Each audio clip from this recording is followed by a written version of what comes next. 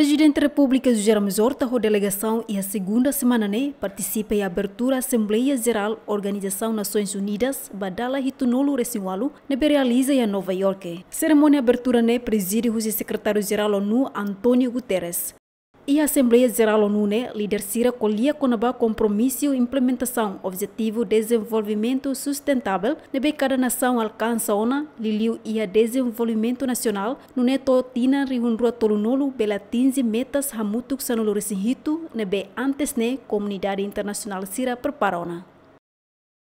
Hoje, nessa o programa oficial Assembleia Geral das Nações Unidas, NION, Liliu ontem o secretário-geral minha intervenção e delegação Balum com a SDG, Sustainable Development Goals.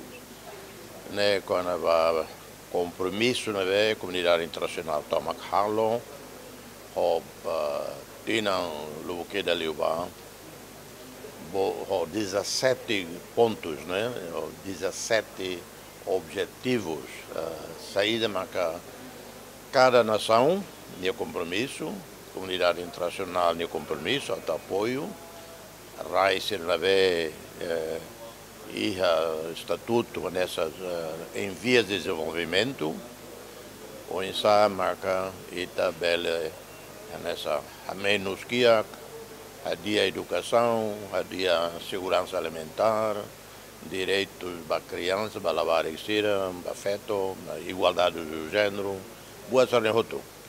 Mas vê, primeiro, também crise econômica mundial, Covid, guerra Ucrânia, preocupação, secretário-geral de Rototo, de 15% de marca bel hatete que objetivos SDG eh, eh, bele nessa realizam.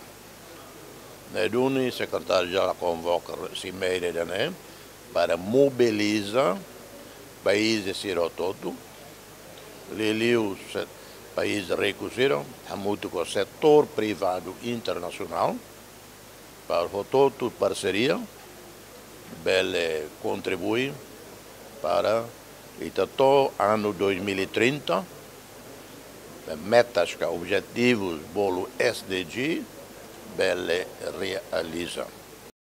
A FOINE, se festado mos participa e a Fórum Negócio Setor Privado União, o tema mobiliza a ambição negócio sustentável, objetivo desenvolvimento. Timor-Leste sai membro da Organização Nações Unidas badala a torcida cianolo resinhida e a loron ronolo resinhito fulan setembro tina rihun rua no da estado membro Nações Unidas hamutu a torcida cianolo resintolo. Bem-vinda Simenes, GMN.